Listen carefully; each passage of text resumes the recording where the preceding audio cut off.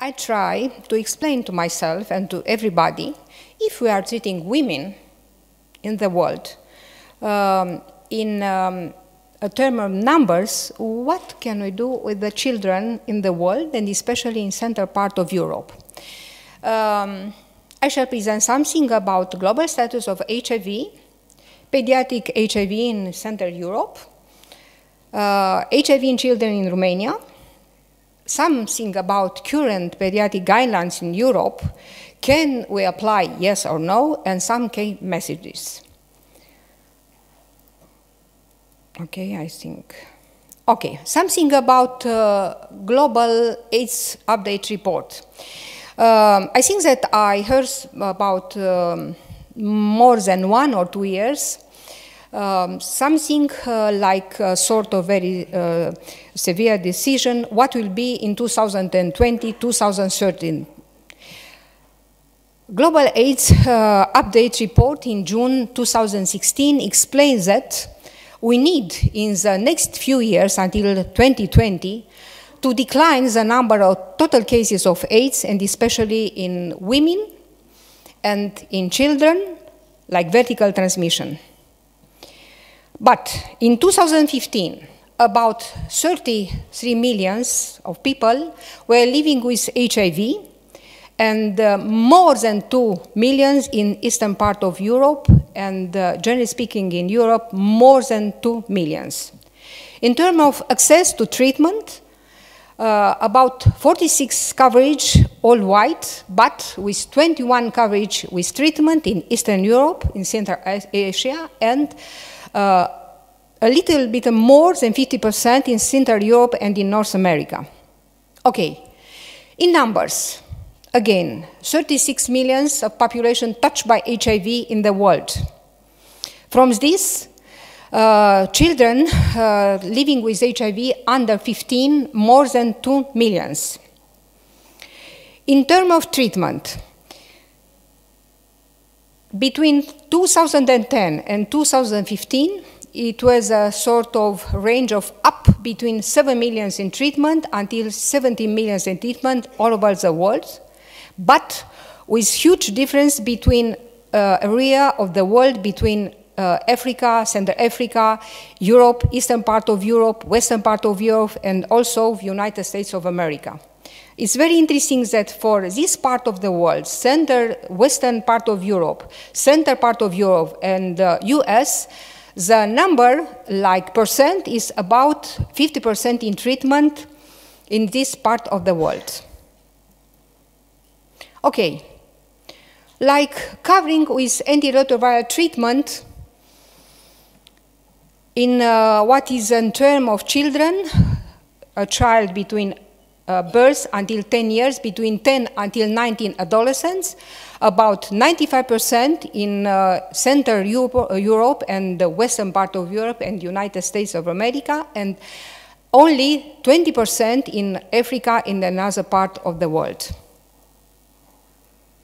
Okay, in this condition, how can we uh, think something or a little bit about uh, situation in Europe and about children? At the end of 2014, ECDC data reports that it was for the first time in 25 years when in Europe we had more than 14200 uh, percent cases, uh, like total number, since the beginning of the reporting of in 1980s. Like uh, geographical area, center part of Europe where is also Romania with the lowest incidence and prevalence, and the, in the other part of Europe, eastern part of Europe with high incidence and prevalence, and western part like a stable one. Uh, like rate of new cases, um, the majority of the cases appear in the east part of Europe, but what about mother-to-child transmission in all this period of time? I counted the total number of cases uh, reported in Europe starting with 2000, uh, at the beginning of the 2000 until now. And like in number, In the western part of Europe and center part of Europe is very interesting, appears a majority of the cases before 2004, and after 2004, about 3,000 uh, uh, 3, population of children touched by HIV before 2004, and only 500 after 2004. Like number of patients, like vertical transmission, because in Europe we are discussing from the point of view of vertical transmission from mother to child, not like horizontal or nosocomial transmission, the number are a little bit, a little bit um, uh, very, very few. I uh, didn't understand exactly, and uh, I try to understand more in the last, in the next slides. About uh, eastern part of Europe, is uh, number is uh, up starting with 2005, but only also in hundred of cases. Uh, between uh, the number, uh, mother-to-child transmission, between the two part of Europe, center part of Europe, western part of Europe, is a, is a little bit difference, like number of cases, like vertical transmission. The uh, lowest number in center part of Europe, in uh, western part of Europe, in the old uh, Europe, about 3,000 cases, and only 1,000 in eastern part of Europe. But, but, uh, starting with 2013, Penta Network established, uh, together with EuroCoord, a sort of survey in Europe. Why? Because it's very difficult to understand how it's possible to uh, reach the women population with uh, prophylaxis about vertical transmission in a couple, how is possible to, to manage a situation of vertical transmission in, um, in uh, low economical settings, and how is possible exactly to reach this type of population children if you don't know anything about cohort. That's why, starting with 2013, uh, Penta Network, uh, together with EuroCoord, uh, organized a sort of survey of the children and young people with perinatal HIV in Europe. And uh, they wanted to compare the epidemiological situation between what we are reporting and what are in fact in the center part of Europe, especially and western part of Europe. And what it is very interesting that in the center part of Europe, uh, where also is Romania, Romania, uh, Hungary, Poland, Czech uh, Republic, Slovenia, the majority uh, of the cases appear like vertical transmission, a few like numbers, and in the eastern part of Europe, it's very difficult exactly to know the real situation. But in the term of cohort, because you are treating cohort, in the term of cohort in children, is a huge difference be between what we are discussing or reporting from each countries and the real situation in fact in the countries. For example, for Romania, we had in 2013 reporting about 253 children between 0 until 10 years, but the other countries reporting 1 or 2 or 10 or 20 population touched by HIV. And in this condition, it's very difficult to understand how it's possible to treat and how it's possible to manage the situation of a child. But in uh, Rome, two years ago, it was a declaration about uh, after 10 years of treatment, generally speaking, in, in um, adults, uh, adolescent adults in children touched by HIV, and it was something like this. The majority cases of the majority countries in center part of Europe are treating a child uh, from the beginning, uh, uh, exactly after birth. But in real term, in treatment, again, is a, a, little bit difference between numbers of population touched by HIV from the point of view of children and the number of population in children in treatment. For example, in this part of Europe, about 8,000 population touched by HIV, children between some days, something uh, 10, uh, 10, uh, 10 years, and uh, the other one only, only in some uh, hundred of, uh, some uh, hundred of uh, population touched by HIV. And I try to understand in Romania, if we have children with HIV from the beginning of the 1990s, what we have done, uh, something about route of transmission, the majority of the children uh, are now uh, teenagers and adolescent, adolescent uh, teenagers, adolescent, and young one living with HIV. And it's very interesting that we counted only 3% from the total population in Romania, like vertical transmission mother to child. The majority of the cases, like children in vertical transmission from mother to child, is only, is only about 2% per year from the total new cases, and our Romanian cohort is about 200 of population touched by HIV between this uh, uh, age, uh, this uh, period of uh, age.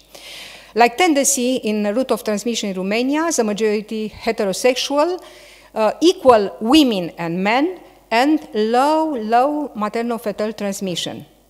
Like age group in Romania, under, at the end of 31 December 2015, the majority are between uh, 10, 12, 12, 14, and under one, like vertical transmission, only five cases, very interesting, and between one or four, about 50 cases. But what we had done, uh, we organized the treatment starting with uh, 1995, and starting of them, in fact, in Romania, everybody, it was and it is treated. But this new cohort, this new cohort, about 243 children between 0 and 14, received up to seven therapeutical scheme from the moment where they were discovered. It's so simple to discuss about uh, women, about adherence, and is the same simple to discuss about child or children about adherence is very difficult exactly to know.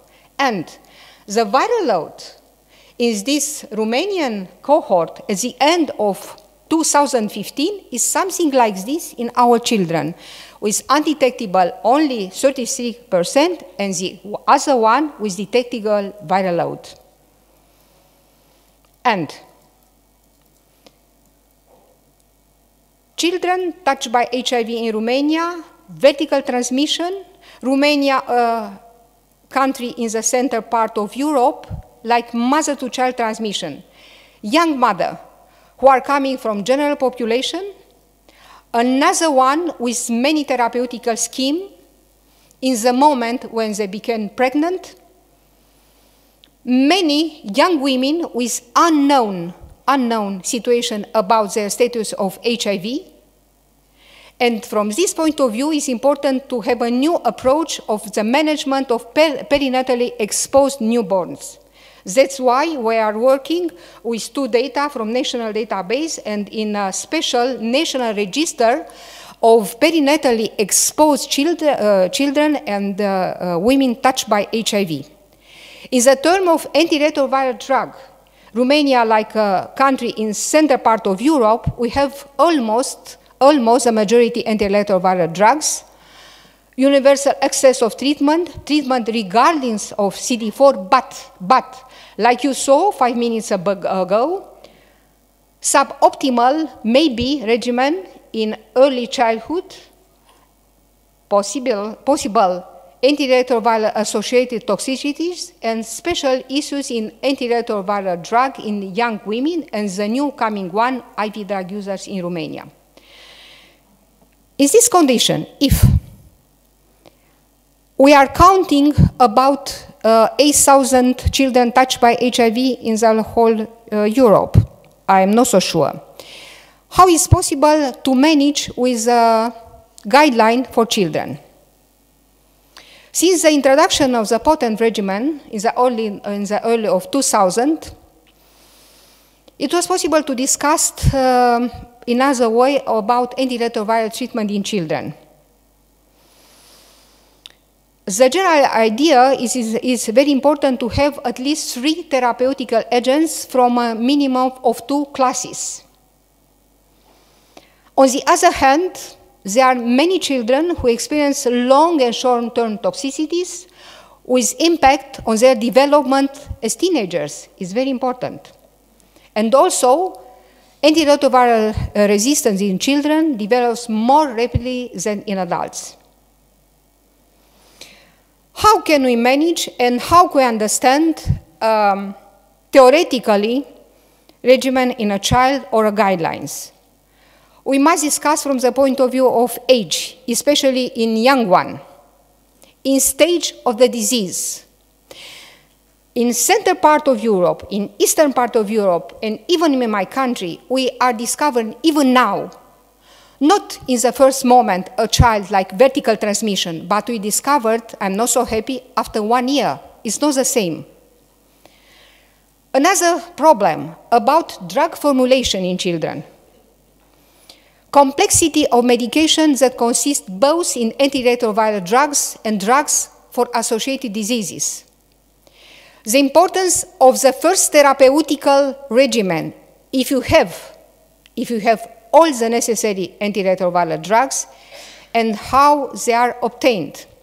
Comorbidity in children, such as TB, Uh, hep B, Hep C, chronic liver, and adherence and compliance, who can have another, another idea like in adults. Steps to follow in order to reach essential antiretroviral objectives. One, to reduce HIV morbidity and mortality in children. We saw that, in fact, in this moment, in the old, we are discussing about more than 2 millions of children in life, and only a half in treatment. Virological and immunological success, prevention of uh, uh, resistance, reducing the number of pills in children or syrup is very difficult, and normal weight, high and neurocognitive development. The new international gu guideline, for the first time recommended in this year in children, like, like update, and I don't, uh, I shall not discuss from the point of view of antiretroviral drugs in children, but is for the first time on web, uh, everyone, WHO, PENTA, and uh, the American guidelines say, say something like this.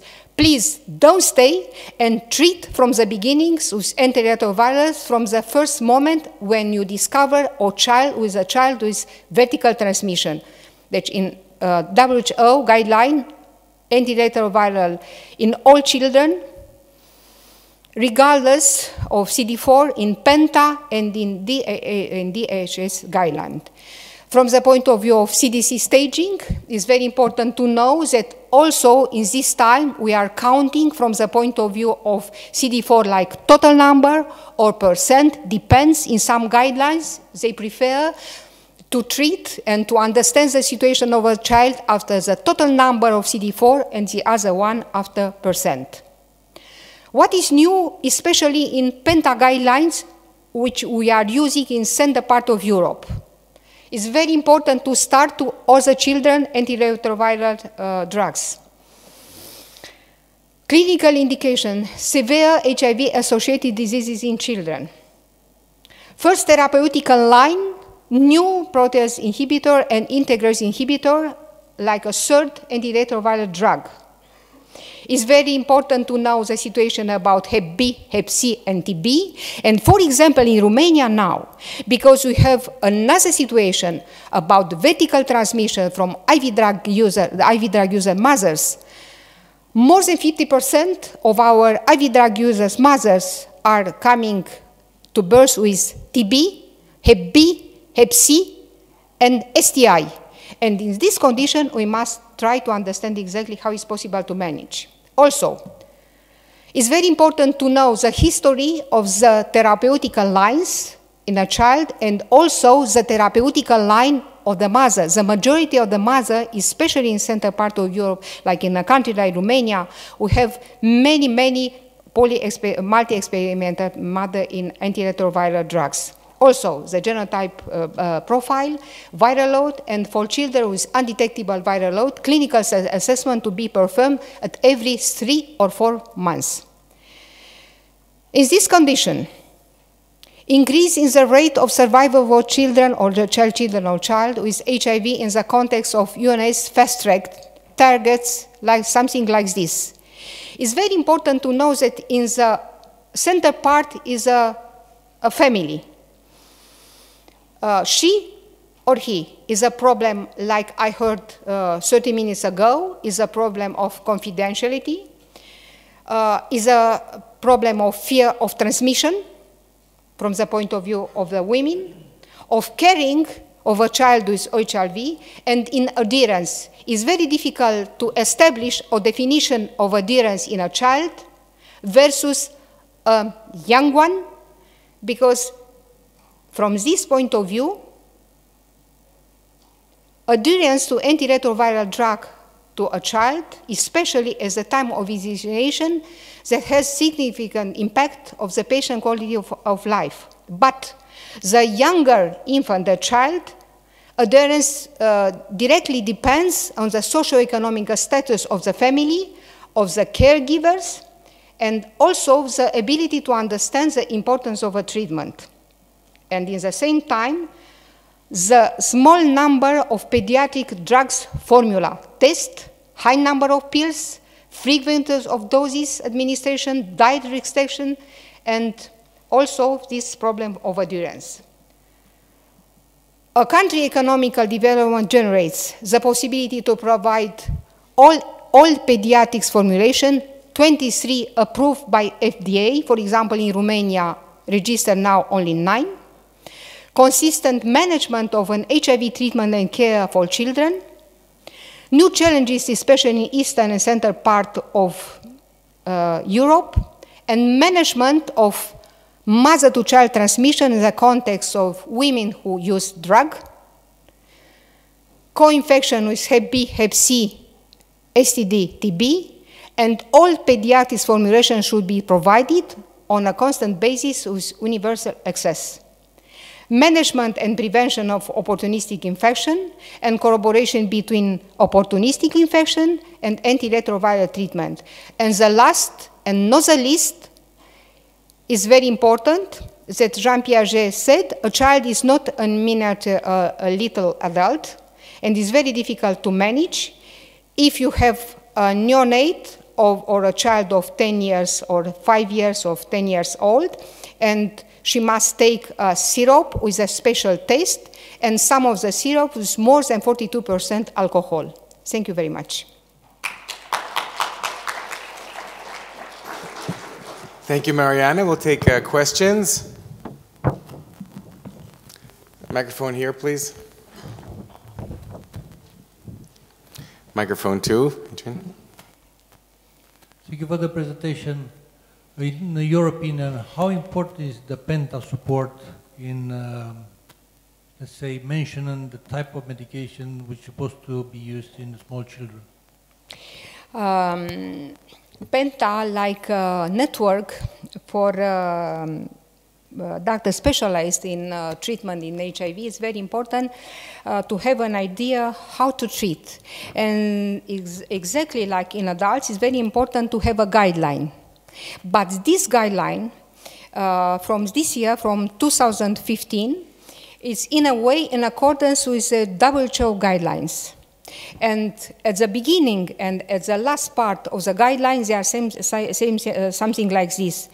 Uh, you must use your antiretroviral drugs, depending on your, from your economical point of view, but you, have, you must have this type of drug, and especially an IP, who must be used from the beginning and from the first moment of a child are coming is this type. Is, uh, I, know, uh, I know what you are thinking, Professor, that is very difficult to explain to somebody, and that's why at the last of my presentation I explained that it's very important that the whole Europe, for example, to have the all antiretroviral drugs in this moment specialized for children.